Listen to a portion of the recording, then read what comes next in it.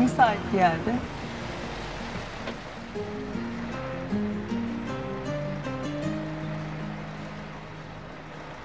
Teşekkürler.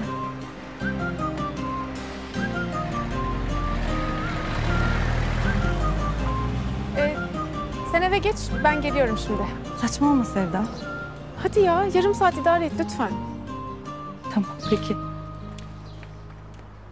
Selamünaleyküm. Hoş geldin. Buyur hocam. Buyur. Hoş geldiniz. Buyurun. Hoş geldin hocam. Gel.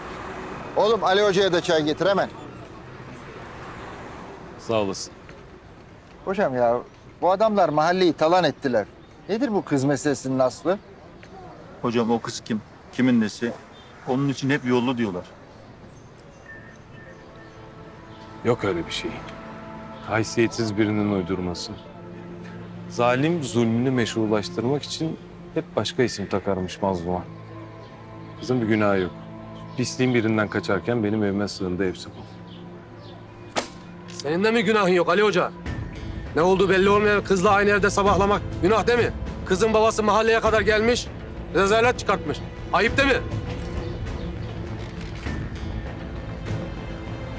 İnsanlar nasıl da görmek istedikleri gibi görüyor.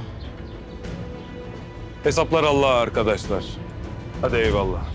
Görüşürüz hocam. Yahu ne biçim konuşuyorsunuz? Ayıp değil mi? Ne ayıbı İlhan abi? Hocanın yaptığı ayıp. Yediği hatlar herkesin dilinde. Şükür ki Allah insanların sunduğu raporları kabul etmez. O her şeyi görüyor. Ali! Ali hocam!